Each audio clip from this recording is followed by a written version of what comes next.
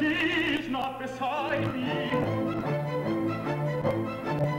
Three months we've been together, three months since Violetta renounced the world she knew, its brilliant, its richer. the ever-present lovers who tried to win her favors and vowed to be a slave that life is over. Here in the country,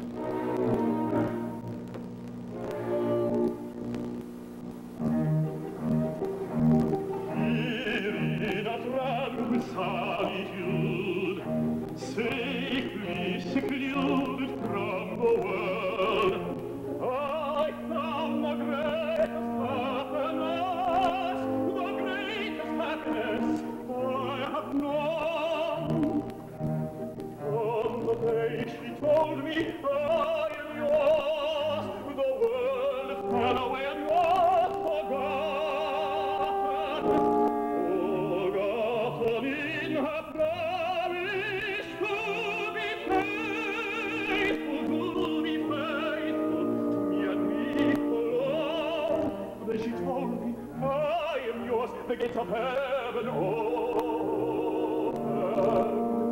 Heaven opened up the promise to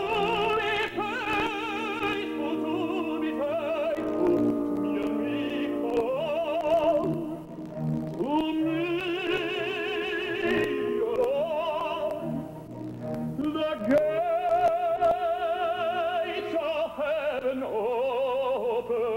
The gates of heaven opened when she promised to be faithful to me and me